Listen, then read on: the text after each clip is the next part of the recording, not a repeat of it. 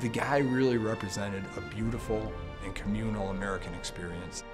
The WMHT film Governor Mario Cuomo Poetry and Prose, nominated for a New York State Emmy.